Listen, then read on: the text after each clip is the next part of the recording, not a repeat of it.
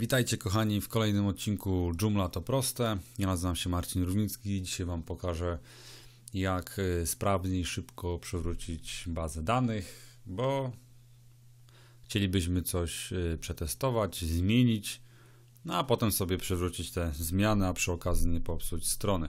Mowa oczywiście o stronie produkcyjnej, no bo wiadomo, są dwa sposoby, albo jesteśmy hardkorami i działamy na stronie produkcyjnej, coś zmieniamy, albo robimy sobie po prostu kopię e, na localhoście, czy też na hostingu i tam sobie grzebiemy.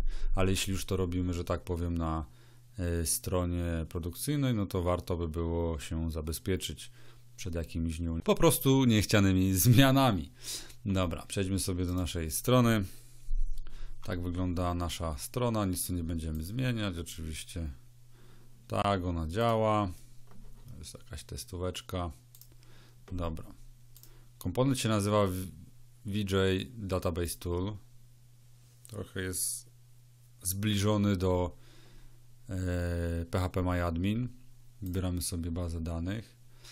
I teraz tak, jeśli nie wiecie albo się nie znacie za bardzo, no to trzeba robić backup Akebą całej strony lub też MySQL, no ale wtedy znowu trzeba się trochę znać na PHP MyAdminie i że tak powiem importować.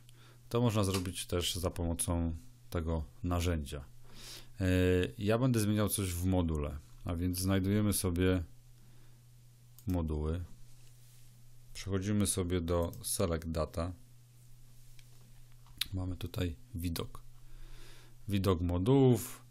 No i teraz można na dwa sposoby. No, albo robimy zrzut całości, albo robimy zrzut tylko tej opcji, którą, w której będziemy coś zmieniać. Ja będę zmieniał o Front Page Mode 1. Robimy sobie, zaznaczamy sobie, że to chcemy. Tak, kompresujemy sobie, mamy kilka opcji do wyboru, otwarcie, zapisanie do SQL-a, gzip. Bierzemy sobie eksport, ładnie się nam wyeksportowała ta jedna tabela. Ok, wracamy sobie do modułów.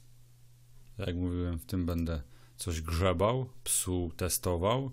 Wy też możecie. No, jak widać, Show Pro od GK5 dużo ma opcji. Tak, jakiś artykuł. Tak, zmieńmy na L. Coś wyłączmy. Tu coś popsujmy. Myślę, że starczy. Zapisujemy. No i odświeżamy. No i niestety coś się popsuło i teraz jeśli to jest strona produkcyjna, to mamy nie lada gratkę, no bo nikt nie może wejść na stronę i zobaczyć takiego komunikatu, jakby to o nas świadczyło, prawda? Wracamy w takim razie do VG e, Database Toola. Tak jest. Wchodzimy sobie do naszej bazy.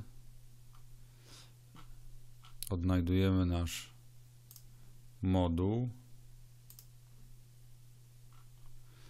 Odnajdujemy tam, gdzie coś psuliśmy i usuwamy. Tak, zapyta nas, czy chcemy usunąć. Tak, chcemy usunąć. E, wchodzimy teraz do SQL Command. Tu mamy nasz zrzut.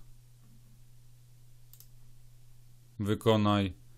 Jedno zapytanie zostało wykonane poprawnie. Przejdziemy sobie do naszych modułów. Select Data i mamy z powrotem to, co mieliśmy. Przechodzimy sobie na naszą stronę główną, odświeżamy, tara, wszystko wróciło do normy. Jest to bardzo potężne narzędzie, można tutaj wykonywać już różnego typu zapytania. E, można też edytować, jak widzicie.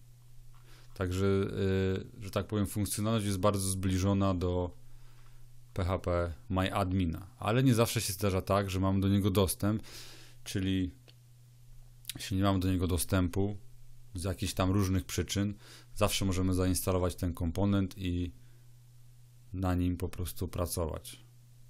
Tak? Wejdźmy sobie jeszcze na dumpa. Jak widzicie, zapisz. Mam tu jeszcze takie opcje, znaczy, to tak, opcja jest drop and create. Co to znaczy? To znaczy to, że jak wykonujemy, wykonujemy dumpa takiego, to będziemy mogli y, spokojnie go z tego komponentu zaimportować, bo on zrobi tak, że y, najpierw przed zaimportowaniem wszystko nam skasuje, a potem zaimportuje.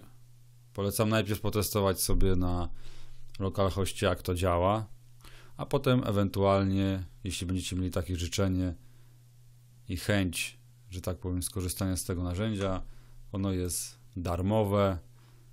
Wszystko będziecie widzieć na dole w linkach, jak i w opisie. No i na dzisiaj to by było na tyle. Jeśli Wam się podobało, oczywiście subskrybujcie, rozsyłajcie. A ja dziękuję za uwagę i do następnego, równie myślę, że ciekawego, interesującego komponentu, czy też pluginu do Joomla. Także trzymajcie się, cześć.